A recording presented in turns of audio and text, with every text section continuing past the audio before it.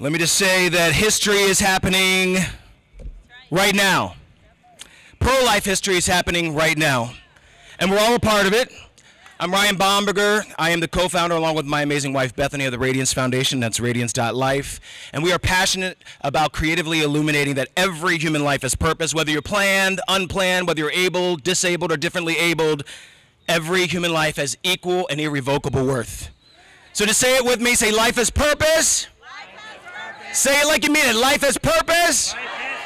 Woo! The circumstances of our conception don't change the condition of our worth. Some say that I should have been aborted.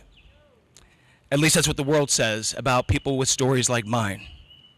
See, I'm the 1% that is used 100% of the time to justify abortion. My birth mom experienced the horror and the violence of rape, but rejected the further violence of abortion. So that's why I'm actually able to hear here today to be able to speak about the dignity of every human life. I'm alive today because of a courageous birth mom. She chose to be stronger than her circumstances. We all can be stronger than our circumstances, no matter what the crisis, no matter what the issue. I grew up adopted and loved in a tiny little family of 15. I have six brothers and six sisters. Ten of us were adopted a multiracial family. Grew up in Lancaster County, Pennsylvania. 13 kids, and yes, it was a little crazy at home.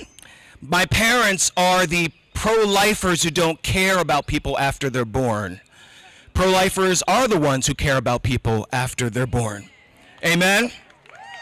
See, the thing is, when you love Jesus, the natural outflow of loving Jesus is loving people and sacrificing what you need to sacrifice, sacrificing yourself so that you can bring what was once broken to wholeness. And so here I am believing and declaring that life is purpose. Just say it with me again. Say, life is purpose. In fact, I recently just celebrated my birthday. It was on May 5th, which is known as El Cinco de Mayo. We call it in my home El Cinco de Rayo. And I love the fact that I'm a dad to four awesome kiddos, two of whom are also adopted, three of whom were unplanned, all four of whom are loved like crazy. My birth mom's singular decision will cause beautiful reverberations for generations. You know, I'm reminded of a, a, comment made recently by an Alabama senator, Senator Vivian Davis Figures, who called those like me the residue of the rapist. I'm not the residue of the rapist. I'm the resilience of my birth mom.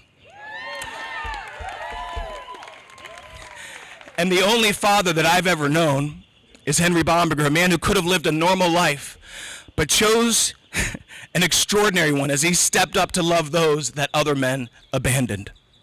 I stand here to speak for those who cannot fight for their own equality. Abortion is the leading killer in this country, outnumbering deaths from cancer, outnumbering deaths from heart disease. The racism that has fed the resistance to Alabama's Human Life Protection Act is astounding. I'm sorry, Emily Ratajkowski, she's a spokesperson for Planned Parenthood, who said that basically if black children aren't aborted, they're just going to go into the prison system. I've never been in the prison system, and the vast majority of black children have never been in the prison system. We reject the racism of the abortion industry. We reject the racism of Planned Parenthood. And by the way, Black Lives Matter, don't tell me that Black Lives Matter when you partner with the leading killer of black lives. Black Lives Matter in and out of the womb. We all matter in and out of the womb. So today we declare no more because life has purpose. 54 years ago, black and white Americans didn't risk their lives to march across the Edmund Pettus Bridge for equality, only to have millions march into abortion mills to have equality violently ripped from them. They didn't walk 50 miles here to Montgomery to stand on these same steps so that another group of human beings could be written off as less than human. How many times do we have to walk across that bridge? Abortion is the civil rights fight of our day and we'll keep marching until Roe v. Wade and Doe v. Bolton are finally trampled under our feet. God bless.